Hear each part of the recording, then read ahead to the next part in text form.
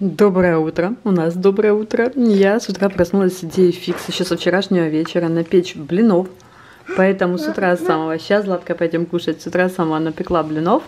А, хочу их сейчас сделать с, ну, Злате, понятное дело, с, мали... вареньем. С вареньем. Кто бы сомневался, киса. А себе хочу сделать с э, сливочным сыром и лососем. Вот такие вот красивые блинчики получились. Э, С утра немножко привела себя в порядок уже. Да, привела себя в порядок. И буду сейчас, в общем, всем раскладывать. Так, вот такие вот блинчики у меня получились. Единственное, что, к сожалению, у нас дома не оказалось лимона. Я обожаю их поливать чуть-чуть лимоном. Для меня это прям вот жизненно необходимо. Но, увы, придется наслаждаться тем, что есть. Но не такая большая это уж, собственно, и проблема. Здесь у меня кофеечек. Там у нас Ивана порция. Вот, у кого второй завтрак, а у кого первый. И как обычно, первый завтрак. Кстати, 11.52. Неплохо, неплохо. Так что э, марафон еды продолжается. Слушайте, вот э, всем приветик, какие люди вообще дивные существа. А, раньше мы дрались за то, кто пойдет выносить мусор, ты выноси, нет, ты выноси. Теперь мы деремся за то, что я вынесу мусор, нет, я вынесу. Так и у нас с магазином. Раньше все время Ивана просила, сходи в магазин, сходи то все. Хотя, вы знаете, сама я тоже любила подзаехать, конечно, но тем не менее. В общем, Иван сегодня первую неделю, наверное, как э, дома. Ну, в том плане, он два дня дома, три дня на работе, там как-то непонятно. В общем, э, кое-что мы не купили на выходных, поэтому говорю, я сейчас поеду, съезжу быстренько в магазин, докуплю там продукты кое-какие надо. Нет, сиди дома, я сам схожу. Нет, нет, пожалуйста, пусти меня, я схожу в магазин. В общем, э, выдал мне перчатки, маску. Я думаю, к чему я губы накрасила, это так, знаете, на автомате, потому что все равно видно ничего не будет. Но я хотя бы минимально подкрасила глаза. Слушайте, хотела вам заодно показать такой быстрый вообще рецепт печенья э, из бананов, которые жалко выбросить. Только что лежало два буквально черных таких уже банана, перезрелых, они в середине нормальные, оно уже снаружи черное. В общем, такие перезрелые бананы я смешиваю, там один-два банана, как есть, с полстакана или со стаканом овсянки, и все. И вот добавила детям, может, по такой, по, такой, по конфетке, себе оставила без конфет. А, и сейчас еще сюда положу конфетку. И отправляю в духовку минут где-то на 10, наверное, на 15, наверное, на 160 градусов. Просто у меня здесь градусов нет, не видно. А, поэтому наугад. Вот, они запекаются, засыхают замечательные такие около хелси печеньки. Ну почему около? Хелси, вот эти вот прям сильно хелси получается. Так, ну вот такие вот получились печеньки. Конфеты, как, собственно, ожидалось, и потекли немножко. Вот, но нет, у меня против, меня нормально. Но сами они такие сейчас мягенькие еще. Должны немножко полежать. Влага это, не знаю, испарится из них, или как-то они становятся чуть более твердые. И очень, конечно, аппетитно пахнут бананом. О, да. Это то, что может радовать на карантине. А еще у меня здесь контрабанда есть. Обожаю. Камамбер из Макдональдса. Это, блин, прекрасно. В отличие от моего внешнего вида. Что-то я вообще чушка похожа на господа. Как я люблю этот сыр. М. Так вот, кстати, Ukraine Express разбираются с посылками. Если она у вас получается больше 100 евро. Хотя здесь они как-то погруппировали, мне кажется, и не, не больше 100. Хотя, ладно, не знаю, может быть. Мне здесь пришло много, немного. Два спортивных костюма и ветровка на обзор с сайта Octali. Они достаточно дорогостоящие, поэтому, наверное, все здесь отдельно. И очечки, очечки для меня. Поэтому я сегодня это все распакую. И, наверное, завтра покажу вам свои спортивные костюмы. У меня уже маникюр так отрос. Но это сейчас проблема очень-очень многих. Мне только проще то, что я сама могу себе его сделать. Но не тороплюсь, потому что дома сидим. Вот. Единственное, что вот здесь вот начало оттопыриваться. Я его взяла, тупо срезала. Мне кажется, тупее вообще ситуация быть не может. В всем остальном они хорошо все держатся, нигде ничего не отслаивается, вот только вот в этом. Но, может быть, на выходных сделаю. Сегодня среда у нас, по-моему. Вот, может, до выходных дотяну, посмотрим. Думаю, вернуться все-таки к миндалевидной форме. Квадрат мне этот вообще не нравится. You say I make you nervous, a tragedy. I'm a beautiful disaster, a reckoning. You wonder how I got this way. You think I'm someone to be saved, someone to clean up Так, я распаковала здесь посылки. Эти вещи я вам померяю, покажу чуть позже. Единственное, что меня смущает, ну как смущает, давайте я вам покажу, наверное, а, заработок брендов в том числе. А Вот мне пришли их вещи, вот везде на сайтах у них цена, допустим, 139 за куртку, а вторая цена стоит 62. Это, наверное, минимальная цена, по которой можно продать, что-то типа такого. И точно так же, вот, допустим, бра 54 доллара, а здесь стоит и вторая цена 24. На леггинсах, вот, на леггинсах меня вообще убила разница 39 долларов и 89. Не знаю, что это. Но хочу показать покупку, которая, по моему мнению, стала, ну, прям супер удачной. Это вот такой вот набор из шести носочков Calvin Klein. Я их покупала в детском отделе. Здесь размер идет какой-то 9-11. Он идет, по-моему, на 38-39 или 37-39, что-то такое. Вот. Здесь 6 пар, и я 6 пар носков эти купила за 7 долларов. 7, по-моему, 7,50 или 7,60, что-то такое. Вот, за 6 пар. Это получается по доллар 10, по доллар 20 за пару носков Calvin Klein. Я прям очень сильно довольна. Смотрю по размеру, что мне подойдет. Плюс они тянутся. Так что класс. Но что я ждала больше всего? Ой. Ой. Ой-ой-ой. Так, так, так. В общем, что здесь находится, и так понятно. Но я вам покажу уже в покупках одежды. И оставлю такую небольшую пока что интригу одежды и аксессуаров. -то.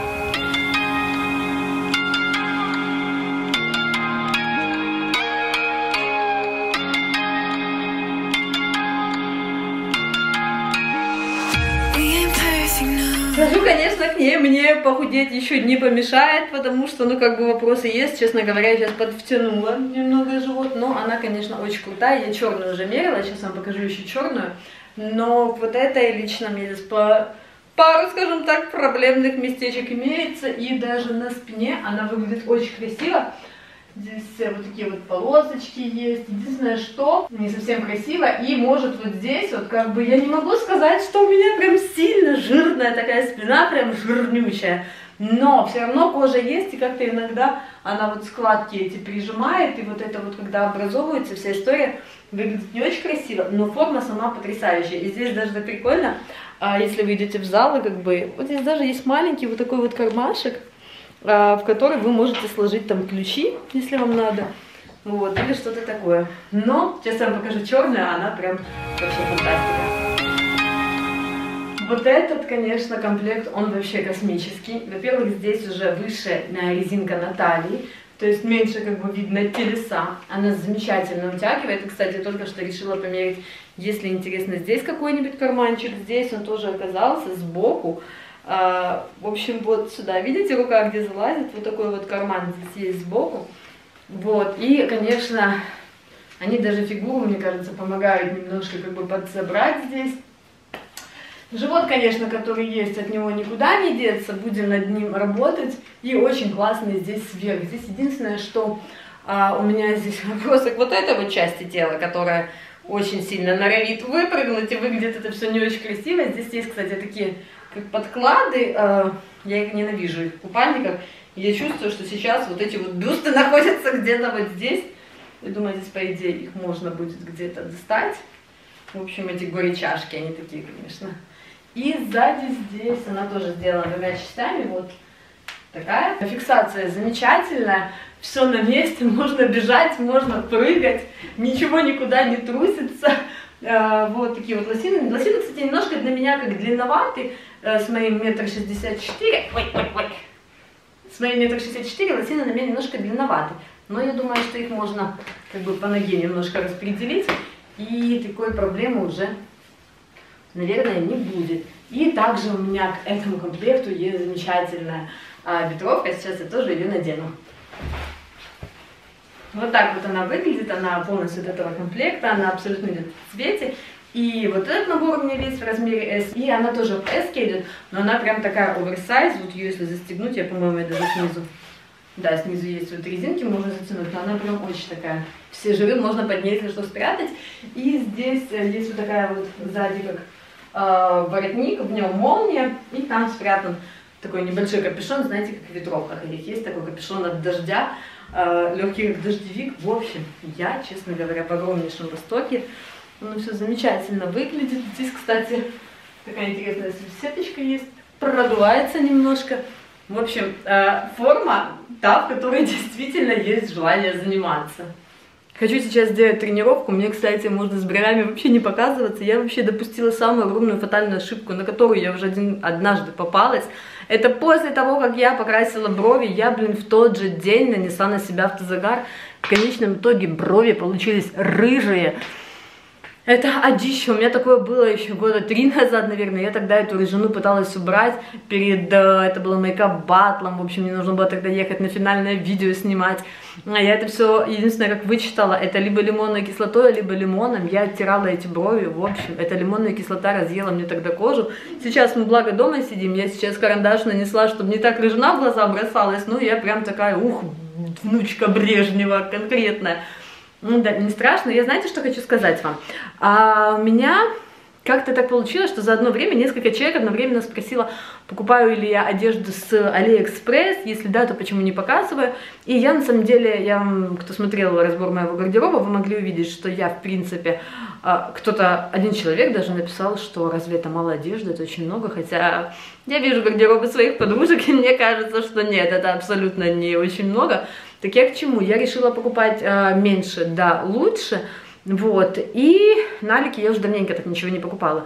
И вот после этого вопроса я зашла на Алиэкспресс, потому что я раньше снимала видео покупки с Алиэкспресс, они были очень популярны на моем канале, и это действительно то, что интересно людям смотреть. И я вот думаю, может быть, вам действительно было бы интересно, чтобы я покупала какую-то одежду, чтобы, знаете, не было такого, что вы купили и выбросили, а я, допустим, куплю, покажу вам ожидание, реальность, на себе покажу, и тогда, возможно, вы сможете определиться, нужно вам это или нет, чтобы, скажем так, сделать более полезный в этом плане контент.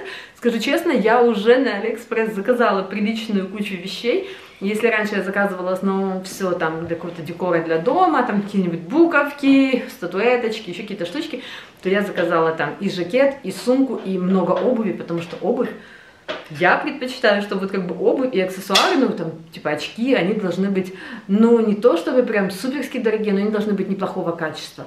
Но я увидела там такие прикольные трендовые модели, которые вот действительно такие сезонные. Мне как блогеру было бы здорово это внедрить в свой гардероб, потому что я хоть и не проповедую а, вот это вот излишество, скупайте все, что только вы видите, но мне, скажем так, по роду деятельности это положено, ну и в конечном итоге я это не покупаю, потом выбрасываю, я стараюсь осторожно с этим обращаться, и потом стараюсь оставлять это в таком состоянии, чтобы ее можно было кому-то дальше отдать, и кто-то ее носил с удовольствием. Вот, э, в связи с этим у меня вопрос, если вам это интересно, то покидайте, возможно, ссылки на то, чтобы вам было интересно, потому что там уже не раз я открывала вещи, смотришь, какое платье или блуза, ну просто вау. Потом заходишь в отзывы, видишь эту вещь на человеке и думаешь, что? Что это, блин, вообще такое? И здесь даже речь не в том, что вещь может кардинально отличаться от того, что мы видим на картинке, хотя она отличается на порядок, но еще и а, с тем, насколько человек это может внедрить, скажем так, в свой гардероб, а, удачно подобрать под свою фигуру, что тоже немаловажно, потому что иногда действительно бывают классные вещи, но девушка подбирает их не соответственно своей фигуре, она либо на ней висит, либо наоборот ее обтягивает, как-то делая большой, а, вот, поэтому это тоже достаточно важно, как мне кажется, что-то я прям вот такая стою, тут жестикулирую, прям на, на Важнецком, знаете, про Алик рассказываю, очень важно, прям важнее некуда. В общем, если вам это интересно, то покидайте мне внизу ссылки, на что бы вам было интересно, вот так.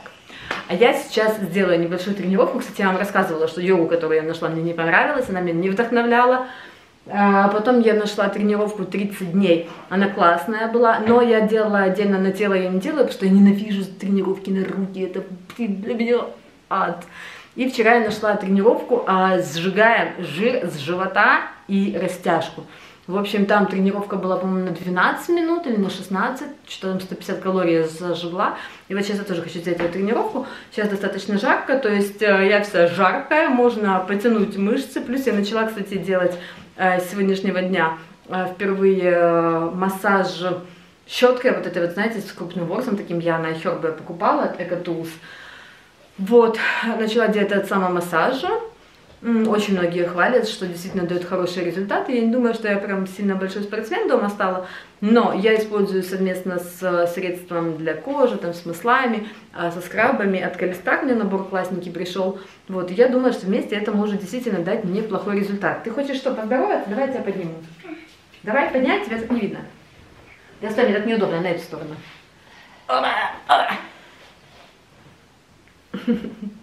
Все? Вот это мои котики-енотики, с которыми мы сходим с ума. И, конечно, те, кто рассказывают, что они устали от карантина, что им дома так скучно, не придумывают, чем заняться, блин, я вам завидую. Я вам искренне завидую, потому что я привожу приблизительно вот так вот все свое время, но это прекрасно, конечно. Но кто будет со мной сейчас тренировку делать? Я. Дима. Вы тоже будете На делать? руки. На руки? Да. Давай сейчас будем на все тело. Сейчас, в общем, вместе... Ой, ой, ой, Дима, Дима! Ух! Сейчас вместе сделаем тренировку.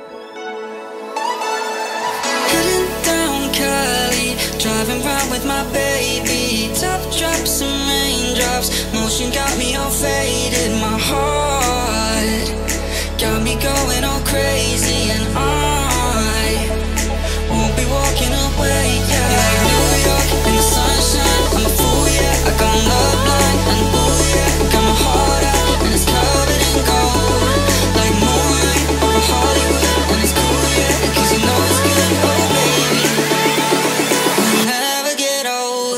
заодно уже покажу свои проблемные места, которые вы часто говорите, что их незаметно, но они на самом деле есть. А, у меня все-таки, как ни крути, двое детей.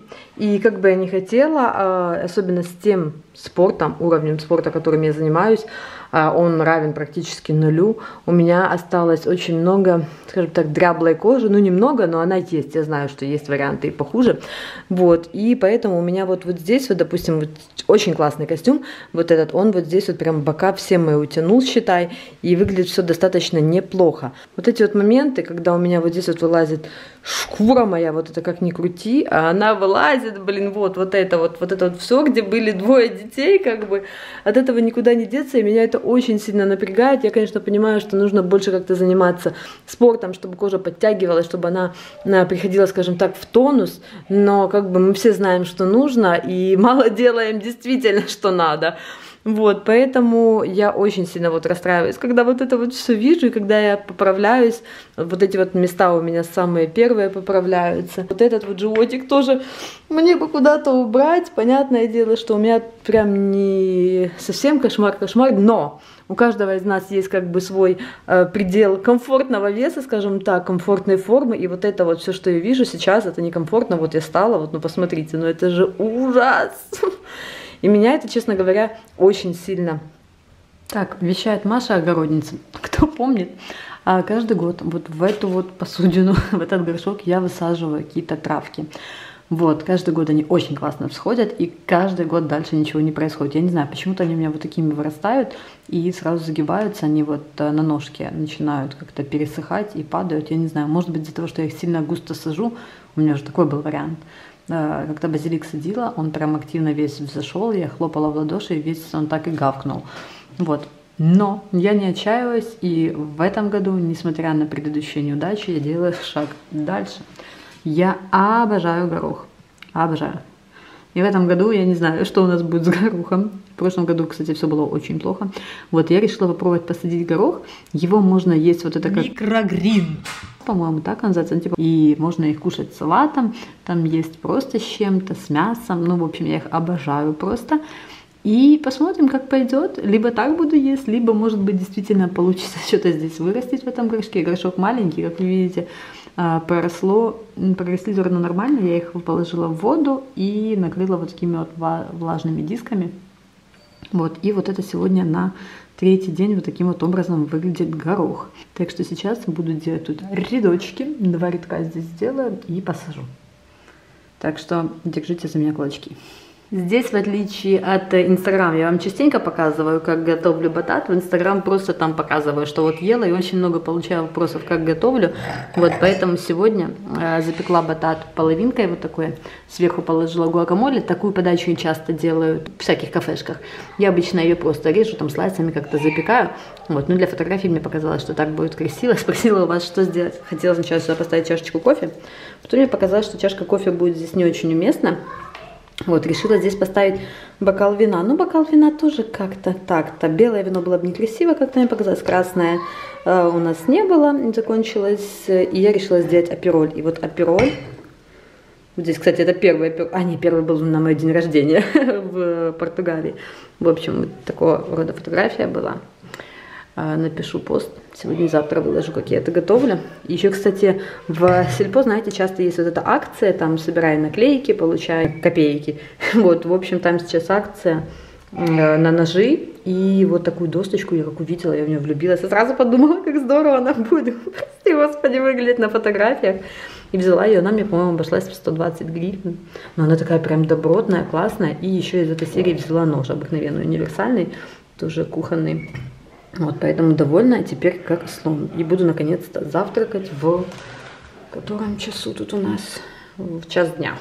Делала только что фотографию для Инстаграм и решила вам тоже заодно показать, что у меня тут получилось. Пекла сегодня, ну, с одной стороны, это можно назвать пробными пасками, но хотя не совсем. А, сегодня четверг, если бы я сегодня спекла паски а, нам всем, то их бы уже до воскресенья точно не хватило бы, ничего не осталось.